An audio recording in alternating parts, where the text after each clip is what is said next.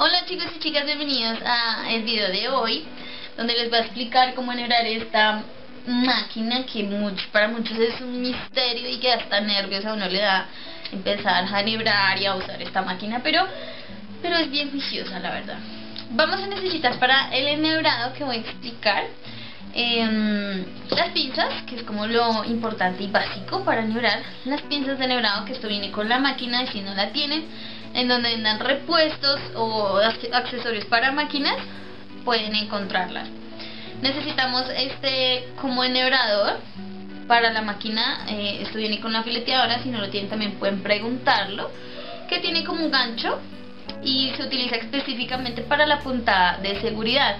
El hilo, eh, la hilaza, perdón, de la punta de seguridad pasa por un tubo súper delgado y es muy difícil hacerlo con las pinzas, aunque es posible, sí es posible si no lo tienen, eh, pero es mucho más fácil utilizar el, el enhebrador. Vamos a utilizar también el pulidor o el corta hilo o el zapito como, mucho, como muchos le dicen, yo le digo pulidor, eh, pues para ayudarnos en algún momento. Em, el destornillador Bristol, si ustedes no tienen puesta alguna aguja, pues la ponen, la seguridad o la de tres hilos, eh, también es importante. Em, necesitamos tres hilazas, dos para la puntada de tres hilos y una para la punta de seguridad. Y los dos hilos, pues la, el hilo de la aguja de seguridad y el hilo de la aguja pues normalita. No siendo más, voy a dar inicio a este video que va a ser yo creo un poquito más largo que el de la máquina plana. Bien, vamos a pasar todos eh, nuestros hilos e hilazas por todos nuestros guía hilos que van, empiezan pues desde arriba, la parte superior. Y eh, de ahí lo vamos a pasar a los que tenemos un poco más abajo. Luego de aquí los vamos a enhebrar a estos guía hilos. Ustedes pueden meterlo a un solo hueco porque es lo único que va a hacer extensión. Vamos a enhebrar primero los primeros tres hilos y eh, luego los de seguridad.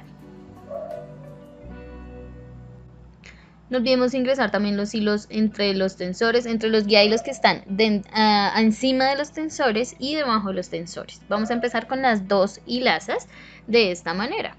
Es importante estar seguros de que el hilo está dentro eh, del tensor porque esto, esto puede cambiar totalmente la costura. Entonces, que el hilo esté siempre dentro del tensor. Eso también nos va a ayudar a ajustar las tensiones girando y girando. Ustedes prueban siempre. Voy a iniciar con la primera hilaza, en este caso azul. Y la voy a ingresar por este agujero. La ingreso y va a salir y la ingresamos a este otro huequito que ubicamos aquí. Esto digamos que es por toda la parte inferior todos los huequitos que encuentran más hacia la parte inferior este y este se guían por el color que utiliza el tensor también que en este caso es verde. Entonces lo ingresamos también por este hueco que tenemos justo arriba. Igual, les ayuda el tensor y les ayuda este mapa que tienen. Casi todas las máquinas la tienen. Entonces, em, yo les muestro. Ahora, eh, también vamos a ingresarlo al looper, que pues ustedes pueden moverlo y encontrarlo. Es el primer looper que se ve. El primero es de la hilaza del primer tensor de derecha a izquierda. Voy a pasar súper súper rápido el hilo para que podamos observar de esta manera por todos los lados. Miremos el tubito chiquitico lo metimos, este, este, este, este y aquí encontró el tensor. Vamos a tratar de meter nuestro hilo, nuestra hilaza por dentro hacia allá para que nos aparezca por este otro lado lo que vamos a hacer es ingresarlo en el huequito que nos tiene eh, el looper y eh, vamos a intentar también otra vez meterlo para que nos salga por el otro lado y va a ser más fácil enhebrar nuestro otro agujero en el tensor.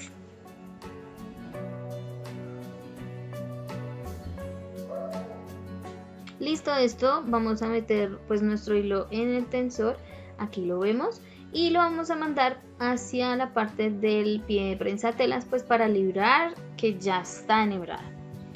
Después de esto vamos a empezar con la hilaza rosada, en este caso la segunda hilaza de derecha a izquierda. Va a pasar por el mismo tubo o pues bueno el que está justo al lado del tubito y eh, los huecos que tienen, digamos, que faltan por enhebrar, que están muy cerca a los otros anteriores. Este y por la parte de atrás logramos ver otro agujero. Este es un poco escondido, entonces tenemos que tenerlo en cuenta. Después de este vamos a ingresarlo ya al looper, que pues obviamente también tiene dos huequitos. Aquí yo les tomé, digamos, fotos para que ustedes puedan guiarse, para que le pongan pausa al video y em, miren súper, súper bien por dónde pasa cada hilo. Por eso también lo hice, digamos, de diferentes colores para que ustedes puedan diferenciar el orden de cada uno.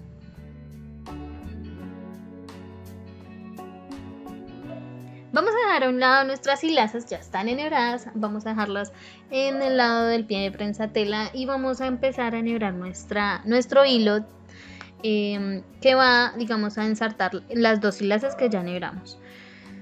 Ya lo tenemos en el tensor, que está dentro del tensor, lo vamos a pasar por el primer agujero que encontramos hacia la izquierda, lo pasamos y, y los vamos a meter entre los dos huequitos, entre el primer y segundo huequito que vemos que son fijos en la máquina, si ustedes mueven el volante, en esta parte se, va a mover solo una pieza. Entonces el hilo va en las piezas que no se mueven. Entonces pasamos por el primero y por el segundo eh, hueco. Bueno, justo encima de la barra de la aguja hay otro agujero. Ya sé que hay muchos agujeros y estoy diciendo mucho agujero, pero eso es lo que hay. Insertamos el hilo por este lugar y debajo de este también hay otro. Por ahí lo vamos a meter para que el hilo salga hacia la parte izquierda y podamos enhebrar la aguja.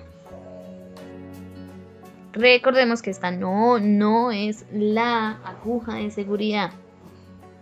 Aquí de nuevo les muestro una imagen para que puedan poner pausa al video y mirar por dónde pasa. El hilo lo tenemos hacia la parte izquierda, entonces lo vamos a meter como en unas plaquitas, digámoslo así, que tiene eh, esta parte de la barra de la aguja. Y eh, justo debajo hay un hueco. Digamos que este hueco es el guía hilo para ah, ya ir de una vez a la aguja. Vamos a enhebrarlo en, el agujero que vemos en la parte derecha de la barra de la aguja. ¿Listo? En, el, en la aguja que está más hacia adentro, en la que se ve metida. Con esto por fin terminamos el enhebrado de la aguja. Entonces lo metemos en nuestro ojal de la aguja y lo dejamos hacia la parte de atrás de nuestro pie de prensa tela. Vamos a pasar a probar la costura y ustedes aquí van a identificar en dónde se ubica digamos la, la hilaza superior, la, la hilaza del upper inferior, la aguja, todos se van a dar cuenta cómo se forma gracias a que ustedes tienen diferentes tonos o pues en este caso yo lo estoy haciendo en diferentes tonos. Esto hace parte del reconocimiento de la máquina y de la puntada. Como ya sabemos que la puntada está bella y linda, entonces eh, abrimos nuestra parte izquierda y encontramos un botón y el volante son importantes para calibrar nuestra puntada. Aquí vemos los números que identificamos en la plana. Eh, vamos a probarla como lo hicimos en la máquina plana. Recordemos este botón, este, presionenlo para que sientan cómo eh, funcionaría. Y eh, mantienen presionado y giran el volante hasta que, digamos, seleccionen usted, ustedes el número que desean, el número de la puntada. Aquí súper rápido entonces hice varios eh, cambios en la puntada y les muestro el resultado y ustedes se dan cuenta que tan larga y que tan corta están las puntadas. Ya empezamos con el enhebrado de la puntada de seguridad y voy a iniciar con la aguja. Entramos el hilo por el primer guía hilo, por esta barra que vemos acá, y luego por el que está encima del tensor. Lo ingresamos y entramos por el tensor, nos aseguramos de nuevo que quede dentro del tensor. Y esta eh, debajo del tensor no tiene ningún agujero tampoco, simplemente lo jalamos hacia la izquierda. El enhebrado de esta aguja me parece a mí un poco más sencillo, entonces vamos a introducirlo justo al lado donde ingresó el, nuestro hilo anterior y eh, seguido hay otro agujero encima del nuestro de lo que humecta nuestros hilos. En la pieza que se mueve justo en medio hay un hueco, lo vamos a pasar también por ahí y ya vamos es arriba de la barra que entramos por el huequito, lo pasamos por la plaquita y luego al huequito que está debajo de las plaquitas y listo, hasta ahí enhebraríamos.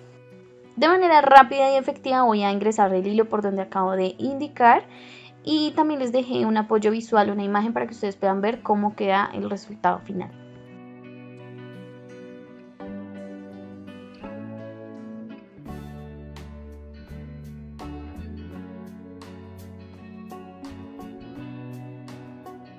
La hilaza la vamos a enhebrar por la parte de atrás de la máquina, aquí la tenemos, y la vamos a ingresar por el primer agujero que vemos en la parte de atrás. Y aquí está el famoso tubito, difícil de enhebrar, para eso vamos a necesitar nuestro enhebrador. Aquí lo vemos, que tiene como una entrada bastante chiquitica.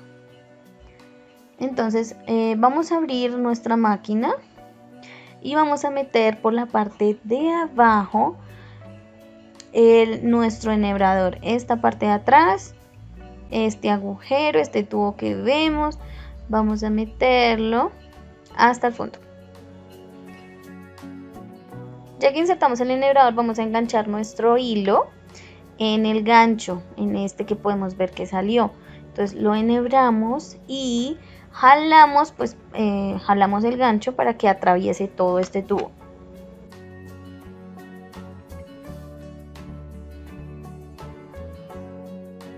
Pasa a seguir, vamos a encontrar un tensor chiquitico, chiquitico, eh, que tiene dos guía hilo, uno a la izquierda y otro hacia la derecha.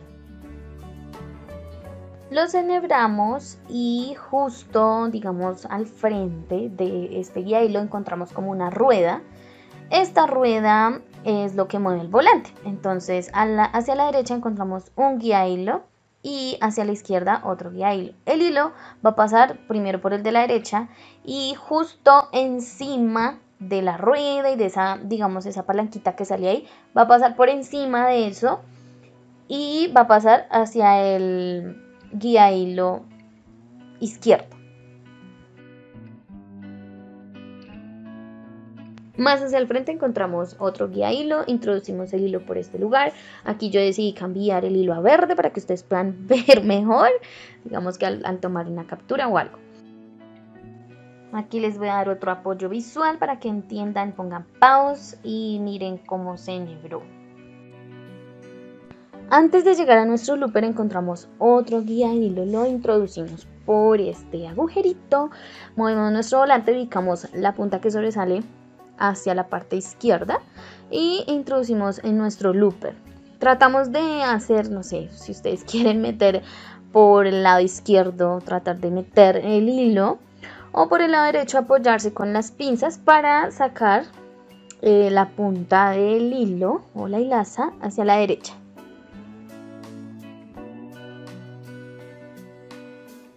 Cuando logremos sacar ese hilo, simplemente hacia la derecha se nos alcanza a ver el huequito de nuestro looper.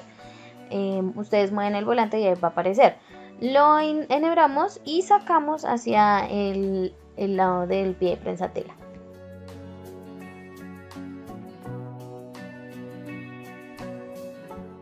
Hecho esto, aquí tenemos nuestros cinco hilos y lo que vamos a hacer es hacer la prueba.